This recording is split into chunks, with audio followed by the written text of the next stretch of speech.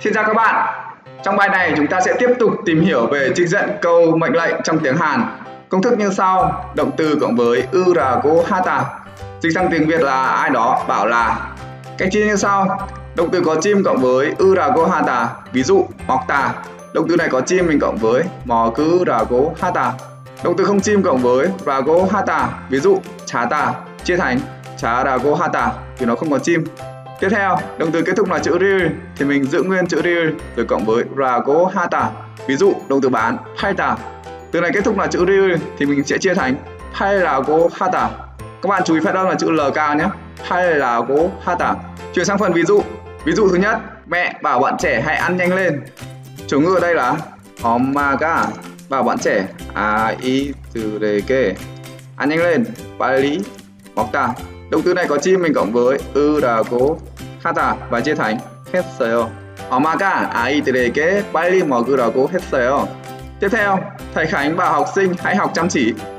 Chủ ngữ đây là Khánh 선생님께서는 bảo học sinh 학생들에게 học chăm chỉ 열심히 공부하다.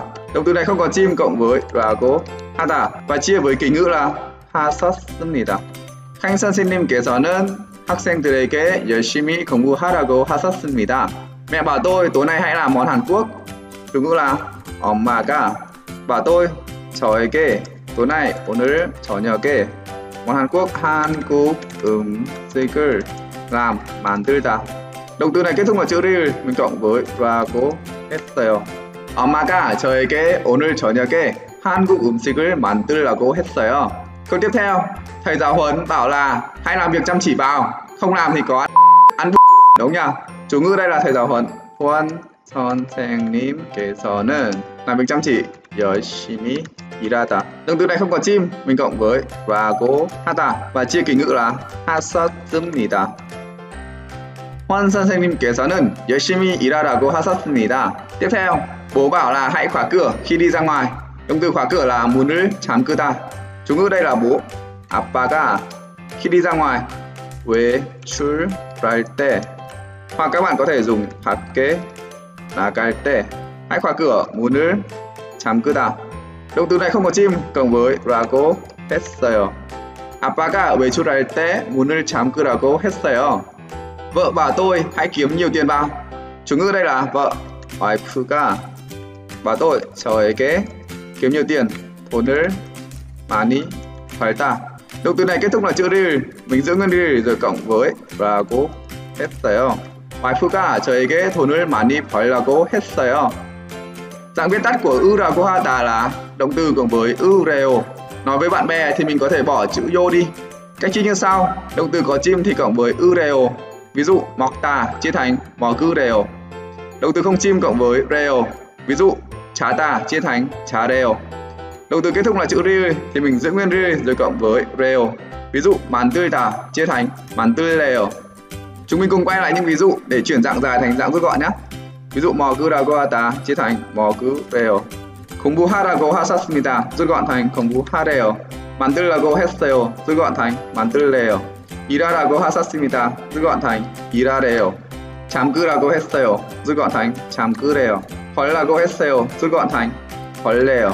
Tiếp theo, động từ cộng với chi máy là gohata. Dịch sang tiếng Việt là ai đó bảo là đừng làm gì. Ví dụ, bố bảo là đừng kết hôn với cái thằng đó, thằng đó nó đều lắm. Thằng tiếng Hàn là nôm, chủ ngữ đây là 아빠가 với thằng đó 그 놈이랑 kết hôn 결혼 하다. Cộng thẳng với chi 말라고 했어요. 아빠가 그 놈이랑 결혼하지 말라고 했어요. Câu tiếp theo, Hoàng bảo là đừng có nói dối, Nói rồi tiếng Hàn là khó hát à. Các bạn chú ý biến âm ở đây.